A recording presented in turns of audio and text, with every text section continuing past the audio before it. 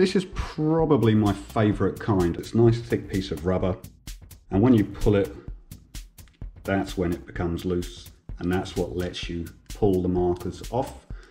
But while it's not being pulled, the markers are held really nicely. And this is around a six mil piece of bungee, knot at one end, and I'm going to show you this knot here.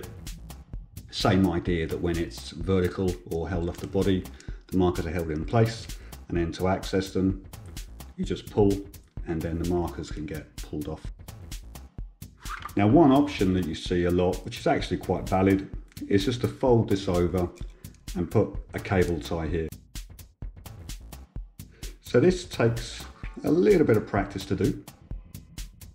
What we're looking to try and do is make a couple of loops around the bungee. Then once you've made those, you're going to fold back down the inside.